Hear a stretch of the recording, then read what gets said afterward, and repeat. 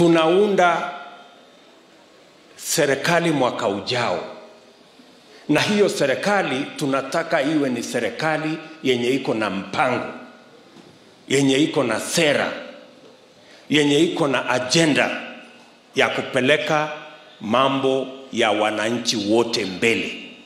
Hatutaki kuunda serikali ya fitina ama kitendawili ama tibim. Hapana, tunataka kuunda serikali iko na plan, iko na ajenda, iko na mpango ya maendeleo ya kupeleka Kenya mbele, na ndio tumesema safari hii hatutaki kuambiwa mambo ya viongozi peke yao.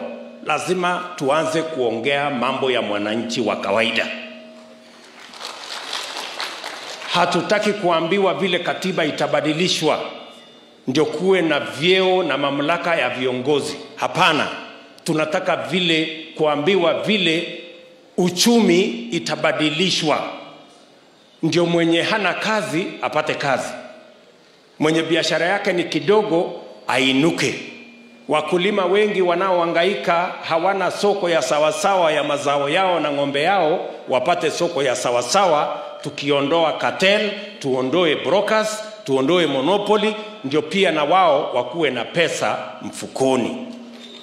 Tunaelewana watu wa Narok? So nataka tukubaliane kabisa, na ndio mnasikia tunasema mambo ni bottom up, yaani tunaanzia pale chini. Pale chini ndio vijana wetu mamilioni. Vijana muko? Maona sijasikia sijana sauti ya vijana wa Narok. Vijana muko? Mnanisikia?